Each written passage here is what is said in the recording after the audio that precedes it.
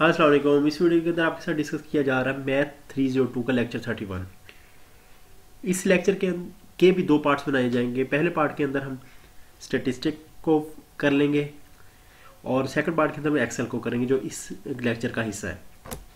इस part one के अंदर हमने क्या करना है? लाइन फिटिंग करनी है। लाइन फिटिंग क्या थी? कि जो हमें ये डाटा जो आप देख रहे हैं, ये डॉट्स जो आपको नज़र आ रहे हैं, हमने प्लाट किए थे स्कैटर डायग्राम में। हमारे पास डाटा था, हमने प्लाट कर लिया एक्स, वाई एक्सिस के ऊपर। प्लाट कर लिया। प्लाट करने के बाद हमें आर वहाँ से मिल गया कि हमें पता चल गया कि इस इन जो दो वेरिएबल्स हैं, एक वेरिएबल एक्स एक्सिस के ऊपर है और दूसरा वेरिएबल वाई एक्सिस के ऊपर। इन दोनों के दरमियान एक रिलेशन एग्जिस्ट करता है। अगर हमें पता चल जाए कि रिलेशन एग्जिस्ट करता है तो फिर फर्दर इसके लिए रेग्रेशन एनालिसिस के ऊपर काम किया जाता है। और ये भी मैं आपको बता चुका हूँ कि रिग्रेशन एनालिसिस में लाइन ही बनाई जाती है, कि लाइन की इक्वेशन बनाई जाती है। लाइन की इक्वेशन कैलकुलेट करना रिग्रेशन मॉडल का काम है, और जो रिलेशन है, दो वेरिएबल के दरमियान रिलेशन का एग्जिस्ट करता है नहीं करना, इसका बताना को रिलेशन को रिलेशन का काम है। ठीक है जी? अभी हमने ये जो आपको दो फिगर्स नज़र आ रही हैं इसके ऊपर, ये दोनों ही इसके हमारे कोर्स का हिस्सा नहीं है। ठीक है? क्योंकि जो हम सिंपल रिग्रेशन मॉडल पे काम करेंगे, वो सिंपल रिग्रेशन मॉडल ये होता है। चले हैंड के ऊपर आपको मैं दिखाता हूँ। ये दो मॉडल कौन से हैं? यहाँ पे आप सिर्फ़ ये देख रहे हैं कि नॉन लीनियर इक्वेशन बनेगी इसकी, ठीक है? नॉन लीनियर क्या होता है कि एक वेरिएबल से बढ़ने से दूसरा वेरिएबल का एक खास लिमिट तक तो बढ़ना, उसके बाद उसका बिहेवियर चेंज हो जाना। जैसे कि, अभी आप देखें ज़रा एक्सेस के ऊपर ये और ये वाई एक्सेस है। जैसे ही पॉइंट ऐसे एक्स एक्सिस के अलोंग वैल्यू बढ़ रही है वाई एक्सिस के अलोंग वैल्यू ऐसे स्टेट ऐसे नहीं जा रही, ठीक है? ये ऐसे कुछ टाइम तक सीधी जाती है, फिर ऐसे कर्व हो जाती है, ठीक है? अब दूसरी इक्वेशन ये वाली देखें अगर, ये वाली लाइन देखें अगर आप, हमने ये प्लॉट किए ब्लू वाले डॉट्स जो आपको नज़र आ रहे हैं। प्लॉट करने के बाद हमने एक इक्वेशन जो है एक लाइन जो है इसके अंदर से ड्रा की। अब ड्रा करने के बाद हमें पता चला कि इनके दरमियान भी कोई रिलेशन एग्जिस्ट नहीं करता, क्योंकि एक्स एक्सिस के अलोंग वाई वैल्यू बढ़ती जा रही है, जो कि इंडिपेंडेंट वैल्यू है, बढ़ती जा रही है, लेकिन वाई की वैल्यू इधर ही कॉन्स्टेंट खड़ी है। तो it means there is no relation between the two variables अभी हमने हैंड आउट से को थोड़ा टैक्स ज़्यादा अच्छा एक्सप्लेन किया हुआ हैंड आउट्स के अंदर लेक्चर थर्टी वन के लिए। मैं आपको वहाँ लेके चलता हूँ, वहाँ से आपको काफ़ी चीज़ें मैं बड़े कम टाइम के अंदर एक्सप्लेन कर दूँगा। अच्छा जी तो यहाँ से देखें there different types of regression models The simplest is the simple linear regression model of a relationship between variables that can be represented by a straight line equation. तो सिंपल लीनियर रिग्रेशन मॉडल क्या होता है? उसके अंदर एक straight line की equation बनाई जाती है। ठीक है जी? अब स्टार्ट कहाँ से होता है मॉडल आपको पता है स्कैटर डायग्राम से। लीनियर रिलेशनशिप एग्जिस्ट करता है, नहीं करता, इस चीज़ का हमें स्कैटर डायग्राम बता देती है। स्कैटर डायग्राम इस तरह की होती है, हम पढ़ चुके हैं। बातें रिपीट देखें कितनी हो रही हैं और आपको अभी बहुत अच्छे से समझ आ जानी चाहिए। अच्छा जी, फिर ये कह रहा है कि यहाँ पे लीनियर रिग्रेशन की दो टाइप्स मॉडल्स हम कंसीडर कर रहे हैं। फ़र्स्ट वो मॉडल हम कंसीडर करेंगे पॉपुलेशन के लिए population linear regression model second हम कंसीडर कर रहे हैं सैंपल के लिए। तो है सैंपल लीनियर रिग्रेशन मॉडल और पॉपुलेशन लीनियर रिग्रेशन मॉडल हम दोनों की इक्वेशन देखेंगे यहाँ पे। अब ये वाली जो मैंने आपको वहाँ पे एक्सप्लेन करके आया ये दो जो मॉडल्स हैं नॉन लीनियर ठीक है, और नॉ नो रिलेशनशिप जो एग्जिस्ट कर रहा है।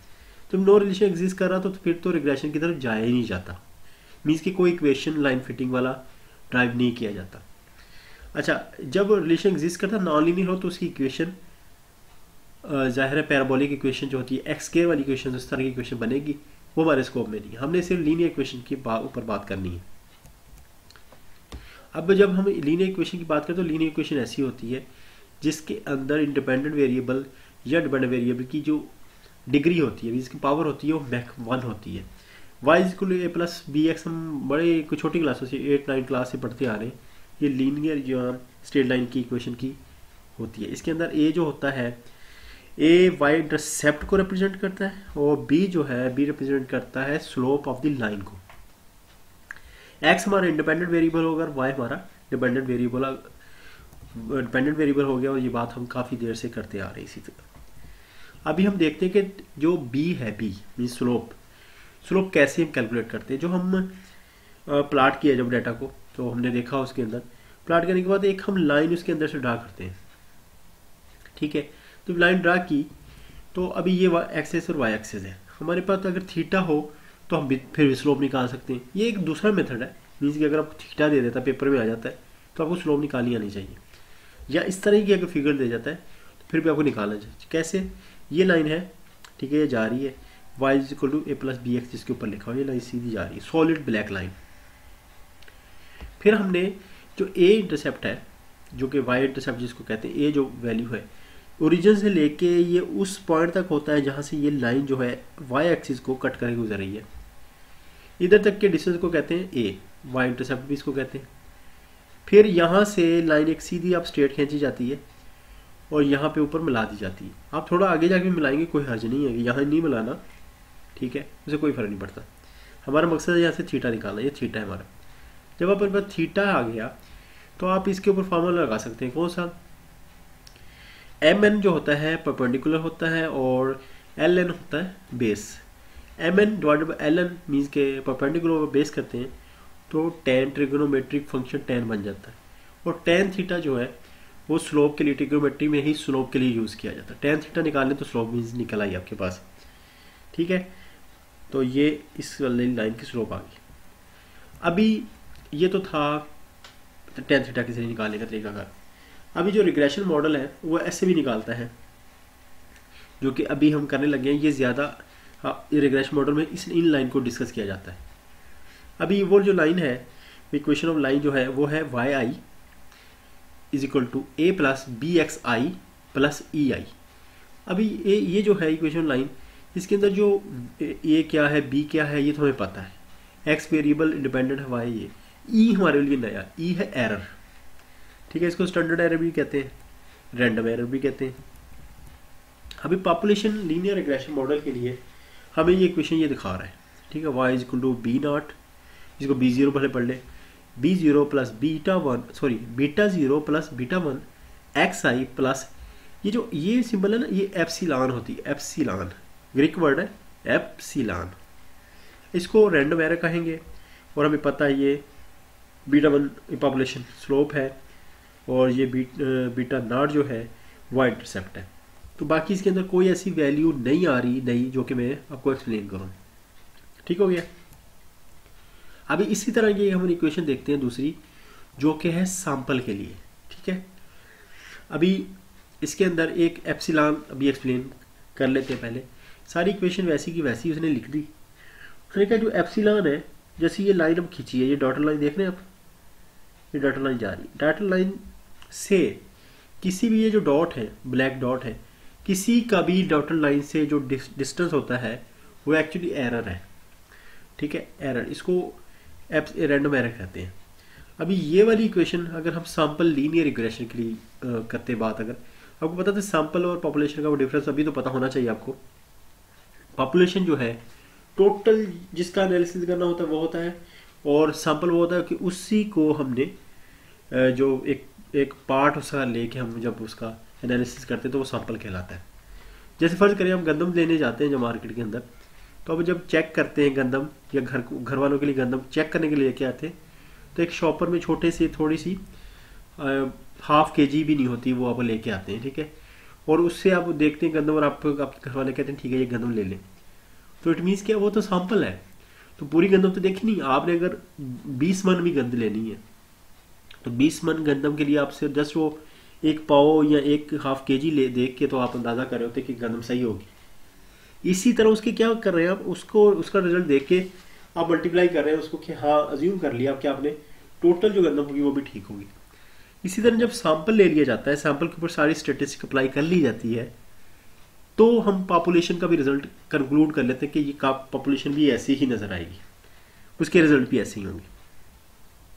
इसकी इक्वेशन जो Y equal B B naught plus B one X I plus E I अब पॉपुलेशन इसके लिए ना ये वेरिएबल्स के डिफरेंस हमने याद रखने हैं बस। उसके अंदर यहाँ पे था बीटा ठीक है, एक मिनट, अगर मेरे पास है वो वाली स्लाइड पे एक मिनट, आपको स्लाइड वो दिखा देता हूँ।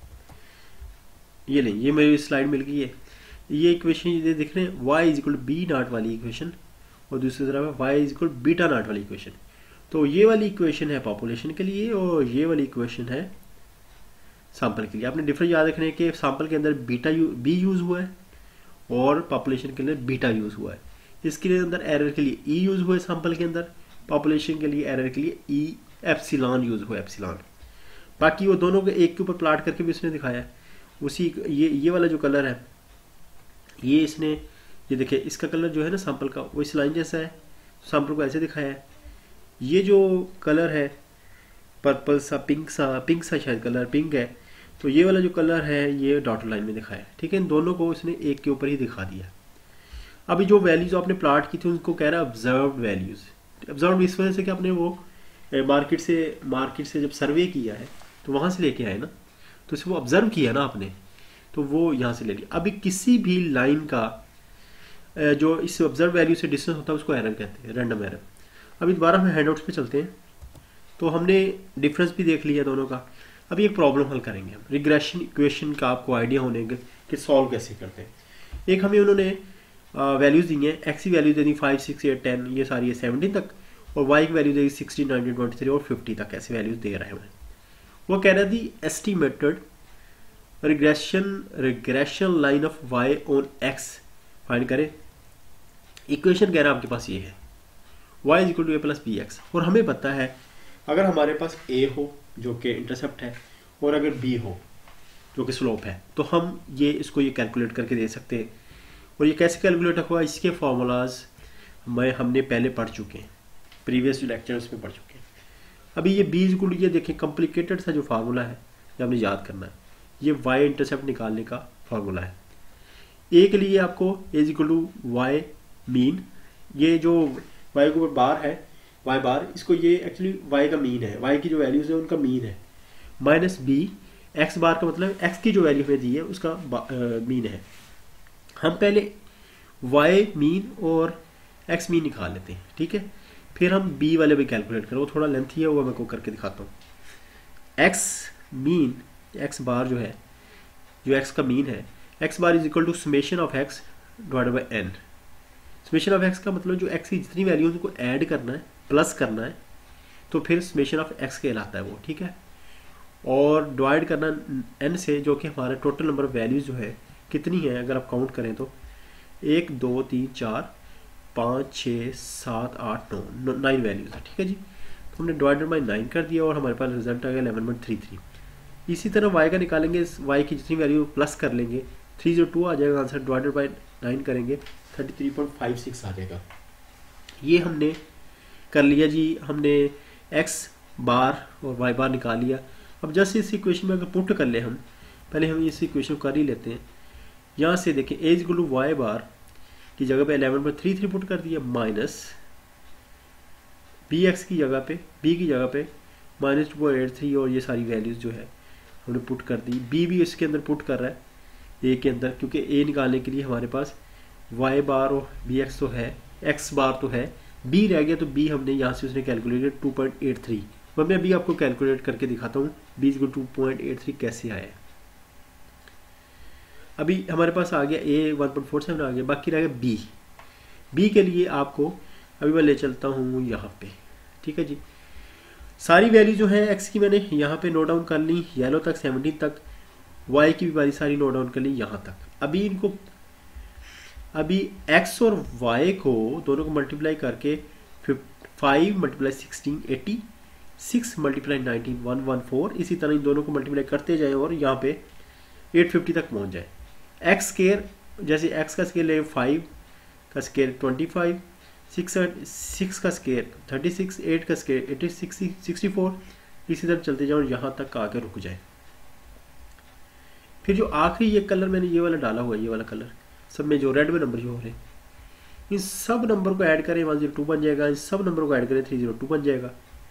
इस तरह ये आ जाएगा और इस तरह इनका सम ये वाला आ जाएगा। अब ये कहलाएँगे क्या? ठीक है? जब x का सम आ जाएगा हमारे वन ज़ीरो टू ये कहलाएगा समेशन एक्स सिग्मा एक्स जिसको ना, सिंपल में जो आपको दिखा रहा था। y की जो है वो समेशन y बन जाएगा summation X Y summation X square अभी हम जस्ट वैल्यू पुट कर लेते हैं। वैल्यू ये वाला फार्मूला मैंने वहाँ से कॉपी कर बी वैल्यू कैलकुलेट करने हम यहाँ पे आए हैं। ये तरीका जो है बुक के अंदर मैं सॉल्व नहीं किया हुआ मेथड तो ये यहाँ से आप नोट कर लीजिएगा। अभी हमने जो वैल्यू देखी एन की वैल्यू नाइन थी हमारे पास। Summation X Y summation X Y को थोड़ा सा हम इसके ऊपर ले जाते हैं। ठीक है जी समेशन एक्स वाई क्या था? ये वाला three eight five three three eight five three minus summation X क्या है? One zero two summation Y क्या? थ्री ज़ीरो टू ये लिखिए। और जो एक्स आपको बड़ा नज़र आया ये मल्टीप्लीकेशन के लिए यूज़ किया। फिर N nine summation X square क्या था? ये थे वन थ्री ज़ीरो एट ये ऑलरेडी स्केयर है। स्केयर करके पे ऐड किया ना summation minus one zero two summation X square means one zero two का स्केयर करना। वन ज़ीरो टू को दो बार लिख दिया। आगे जनाब आप सिंप्लीफाई इसको करेंगे। सिंप्लीफाई करने के बाद आपके B two point eight three आ जाएगा। यहाँ से ये रिज़ल्ट यहाँ से ये two point eight three handouts भी आ जाए टू पॉइंट एट थ्री आ गया रिज़ल्ट आपका। सही हो गया जी। अभी आप जो y इज़ इक्वल टू ये वाली इक्वेशन थी, हमें जो उसने दी थी, उसके अंदर वैल्यू पुट करेंगे। B यहाँ से ये आ गया और वन पॉइंट फोर से ये आ गया और ये हमारे पास रिज़ल्ट आ गया। अभी ये वाला प्रॉब्लम भी समझ लें, बाकी का जो पोर्शन है वो सारा एक्सेल का, वो मैं एक्सेल में आपको जाकर समझा दूँगा। ये देखिए sampling distribution in R example one ये जो हेडिंग लिख रहा है ना, ये वाला करते हैं। Can look at sample size means कोई भी सैंपल साइज़ उसने दिया इक्वल फाइव का दिया हमें। जैसे ये एग्ज़ाम्पल ऐसे शुरू हो रही है, ठीक है? Null hypothesis R is equal to calculated coefficient point eight take the significance at five point five percent confidence level अभी समझने वाली बात यह है कि सैंपल साइज़ तो हमें पता कि N is equal to five उसने लिया हुआ है। N is equal to five का सैंपल था और हमने कैलकुलेट नहीं किया रिज़ल्ट ऐसे ही दे रहा हमें। तो उसका कॉफिशेंट ऑफ़ को रिलेशन जो आया आर आया पॉइंट एट आ गया। ओके अच्छा ये अब नल हाइपोथेसिस समझ थोड़ा थोड़ा गौर से सुनिएगा। एक पहले आप हाइपोथेसिस समझे क्या होता है? मफरूजा जिसको उर्दू में कहते हैं। हाइपोथेसिस ये है कि आप आप अपना आप एक मफरूजा बनाते हैं हाइपोथेसिस बनाते हैं कि अगर मैं वाटर के अंदर ए कोई स्पेसिफिक मेडिसिन अगर डाल देता हूँ तो जो ये पौधा जो है, पौधे, जिस पौधे को मैं पानी दूँगा, उसकी ग्रोथ तेज़ी से होगी। ठीक है? ये है हाइपोथेसिस आपको। हाइपोथेसिस जब होता है तो आपको उसके बाद जब फिर एक्सपेरिमेंट से उसको साबित करना होता है। ठीक है? तो मीन्स के हाइपोथेसिस ऐसा है कि उसको बाद में एक्सपेरिमेंट से आपने साबित करना होता है। उससे पहले वो जस्ट हाइपोथेसिस मफरूजा है वो। ठीक है? अब नल हाइपोथेसिस क्या होता है? नल हाइपोथेसिस ये कहता है, इसी कॉन्टेक्स्ट में बात करते हैं। आप कहते हैं कि जी वाटर के अंदर जो मैंने मेडिसिन डाली है, उससे पौधे की बढ़ने की एक रिलेशन है। तभी तो आपने ये बात की। नल हाइपोथेसिस कहता है कि नहीं जी, इन दोनों के दरमियान, इन वेरिएबल के दरमियान कोई वास्ता नहीं है, कोई रिलेशन नहीं है। और हमने पढ़ा कि जब कोई रिलेशन नहीं होता तो कोफिशियंट ऑफ़ कोरिलेशन क्या होता है? Zero R is equal to zero तो null hypothesis is equal to R is equal to zero लिया गया ये वाली एग्ज़ाम्पल हमें याद रखनी है और नल हाइपोथेसिस ऐसे ही काम करेगा हमेशा। अदरवाइज़ आपको बड़ी मुश्किल समझ आएगा, इतना आसान नहीं है ये वाला। ये एग्ज़ाम्पल आपने जहन में लानी है। जो भी मफरूजा होगा नल हाइपोथेसिस उसका उलट बात करेगा। अगर आपने नल हाइपोथेसिस को गलत साबित कर दिया तो आपका जो मफरूजा था, वो सही साबित हो जाएगा और आपकी बात बुक्स में लिखी जाएगी, ये बात ऐसे ही है। ठीक है जी? अभी ये कह रहा है कि साइज़ आपके पास एन फाइव है और जो भी एनालिसिस किया मैंने सैंपल साइज़ और कहते हैं कोफिशिएंट को रिलेशन पॉइंट एट है। ये कह रहा है कि उनके दरमियान रिलेशन एग्जिस्ट करता है। और नल हाइपोथेसिस कह रहा है कि आर इक्वल टू ज़ीरो है। ठीक है जी? अब सिग्निफिकेंस लेवल क्या है? कॉन्फिडेंस लेवल कॉन्फिडेंस लेवल ये होता है जैसे मैंने कोई डाटा कलेक्ट किया। और आप मुझे कहते हैं कि आपको इस डाटा पे कितना ट्रस्ट है कि सही है। मैं कहता हूँ जी फाइव परसेंट मेरा ट्रस्ट है। फाइव परसेंट ट्रस्ट का मतलब ये कि अगर मैं ये डाटा दोबारा भी कलेक्ट करता हूँ तो फाइव परसेंट चांसेस हैं कि डाटा ना दोबारा भी ऐसा ही मिलेगा। ठीक है? अच्छा ये आपको फाइव परसेंट कम इस वजह से लग रहा होगा। कम लग रहा होगा, लेकिन कम है नहीं। उसकी वजह ये है कि जो पूरी पॉपुलेशन के इसमें से एक सैंपल उठाया जाता है तो फिर कॉन्फिडेंस लेवल डाउन हो जाता है। इंसान का कॉन्फिडेंस लेवल डाउन हो जाता है। अच्छा अभी इसको चेक कैसे करना है? ये अगर इतना डाटा दिया हो तो आप इस क्वेश्चन को सॉल्व कैसे करेंगे? ये सोल्यूशन देख लें अभी आप। एक होता है डिग्री ऑफ़ फ्रीडम ठीक है? डिग्री ऑफ़ फ्रीडम कैलकुलेट करने का फार्मूला है V is equal to N minus two N हमें पता है फाइव है, जो कि सैंपल साइज़ है, और माइनस टू फार्मूले का हिस्सा है। तो फाइव माइनस टू जो होगा थ्री आंसर आ गया। तो आपके पास वी आ गया थ्री अच्छा अभी हमने करना क्या है कि दो वैल्यू इंपॉर्टेंट होती है। एक तो होता है इस क्वेश्चन को सॉल्व करने के लिए कॉन्फिडेंस लेवल फाइव परसेंट है। फाइव परसेंट को फ्रैक्शन में कन्वर्ट करें तो पॉइंट ज़ीरो फाइव आ गया। सही हो गया जी। ये दो वैल्यूज़ आ गई, आपके पास वी इक्वल टू थ्री आ गया। ये अब जब आपके पास आ गई तो आपके पास ये टेबल जो है दिया होगा। ये टेबल, इस टेबल को कहते हैं Pearson product moment correlation coefficient table of critical values इसमें असल में क्या फाइंड कर रहे हैं हम? आर ही फाइंड करने आए ना आर अच्छा जो आर होता है कोफिशिएंट कोरिलेशन उसको Pearson product movement correlation coefficient भी कहते हैं। तो इतना लंबा सा नाम भी है उसका, ठीक है? आर जिसको आर कहते हैं सिंपली हम। फिर अब क्या करना वी जो है वी की वैल्यूज़ आपने देखनी है, वो आपको मिलेगी ये वर्टिकली ठीक है? ये जो N is equal to number pair of data D F जो है degree of freedom N is equal to ये लिखा हुआ है, ठीक है जी? आपका थ्री आया तो आपने ये वाला कॉलम पकड़ लेना थ्री पकड़ लिया आपने थ्री अब इसके बाद आपने point zero five level of significance या लेवल ऑफ़ कॉन्फिडेंस तो वो आपके पास यहाँ पॉइंट ज़ीरो फाइव है तो ये वाला आपके पास ये वाली वैल्यू आ गई। सही है जी? ये पॉइंट एट सेवन एट आ गई। वैल्यू तो इस वैल्यू का आपने कंपेयर करना जो आपने कैलकुलेट की हुई, जिसकी जो आपने आपको गिवन आर अगर आपकी वैल्यू रिलेशन एग्जिस्ट करने की वैल्यू ये वाली जो वैल्यू है, बड़ी है उस वैल्यू से जो कि आपके पास को डाटा में गिवन है। पॉइंट एट गिवन है, अगर ये उससे बड़ी है तो इसका मतलब हुआ कि नल हाइपोथेसिस ट्रू हो गया। ट्रू कैसे हो गया? अब देखें जी पॉइंट एट आपने calculate point eight minus point eight seven eight क्या माइनस में रिज़ल्ट आ गया? इट मीन्स के R is equal to zero से बिलो रिज़ल्ट चला गया। R is equal to zero से बिलो रिज़ल्ट जाने का मतलब नल हाइपोथेसिस ठीक हो गया। नल हाइपोथेसिस तो पहले ही कह रहा था रिलेशन नहीं है कोई। ठीक है? तो माइनस में चला गया। तो इस वजह से इसके लिए लाइन यहाँ पे लिखेगा उस लाइन को देख लें you will find the tabulated value point eight seven eight sample value point eight seven is less than point eight seven eight correlation is not significantly different from zero at five percent level zero से different ना हो, क्या नहीं हुआ? कि मतलब कि वो नेगेटिव में चला गया ना? Variation are not strongly associated same अभी देखते हैं, दूसरा प्रॉब्लम देखते हैं point minus point nine five के साथ। ठीक है? अच्छा जब ये कैलकुलेशन करता है टेबल से फिर वैल्यू हमने उठाई वो इसने वी को थ्री निकला और कॉन्फिडेंस लेवल भी वही है। तो अभी भी पॉइंट एट सेवन ही दिए जस्ट उसने इस क्वेश्चन के अंदर कॉफिशेंट को रिलेशन वाला चेंज किया। अच्छा जब ये कंपैरिजन किया जाता है तो ये माइनस साइन इग्नोर कर दी जाती है। अभी देखें कि आपका जो आपकी जो वैल्यू कैलकुलेटर थी, वो बड़ी थी, जो टेबल से निकली। तो it means correlation is significant different from zero at five percent level variable strongly associated कि जो कि आपका कैलकुलेटर है टेबल से अगर बड़ा होगा टेबल वाली वैल्यू से तो आपका रिलेशन एग्जिस्ट करेगा। चलिए, माशाल्लाह अभी एक्सेल वाला पार्ट रह गया, वो सेकंड पार्ट में करेंगे। और ये माशाल्लाह हमने ख़त्म कर लिया। चलें जी ओके जी, अल्लाह हाफिज़